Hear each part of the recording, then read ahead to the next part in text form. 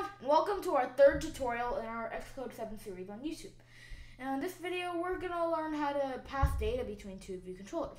So to get started, let's open up Xcode and create a new Xcode project. It's going to be a single view application. I'm going to call it passing data. And um, it's going to be Swift and iPhone, and I'm just going to save mine on the desktop. Let's um, uh, go to main.storyboard and we will need two view controllers for this project. Now this one, um, we are going to drag on a button and a text field. Let's just position them like right next to each other and let's drag them into the middle. And now let's add missing constraints. And then um, let's go to the second view controller add a label, right smack dab in the middle.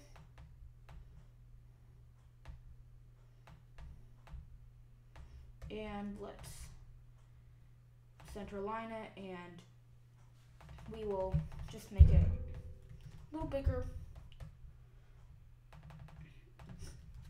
Make it have two lines. Now let's um, create a new file and it's going to be called to the controller and then we're going to save it right there. And we will link it up to this view controller. So to view controller. And um, this button we're going to name it back. And um, this will or uh, send data. Send and we will make the action to here and hit show. Now let's go to viewcontroller.swift. We're going to create an outlet for the um, text field. And it's going to be a UI text field. And let's, um, uh, we're going to get the prepare for segue. So just type in prepare for segue and press enter. And um, in here we're gonna type ns user defaults dot standard user defaults dot set object, and it's going to be text field dot text for key, and this key will just be key. And now let's go to to view controller, and we're going to create an IB outlet.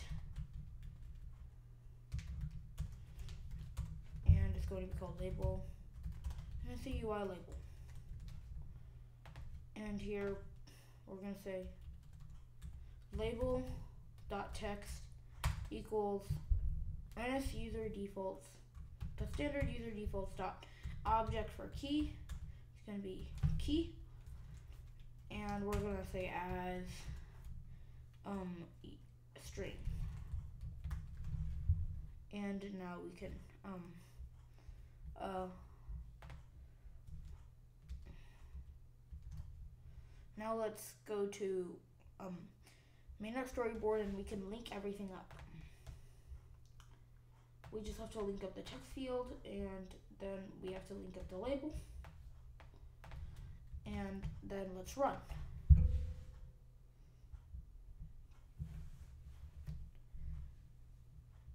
Just wait for it and um, should appear